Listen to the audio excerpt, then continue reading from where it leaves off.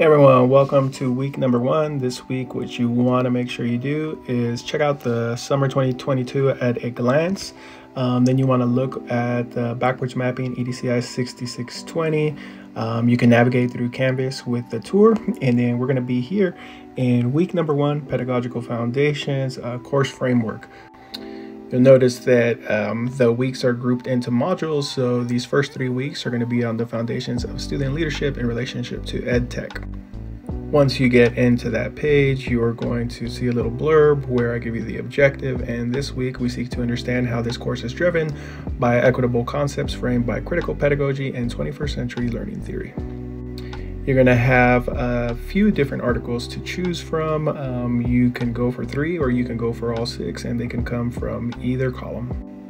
Or you can choose all of them from one column. And you're going to be sharing your thoughts on the article in the Flipgrid link on the discussion. And then um, you're also going to introduce yourself and uh, let us know what you're hoping to get uh, from this course. Um, so uh, look forward to seeing you all on Flipgrid and in the discussion boards.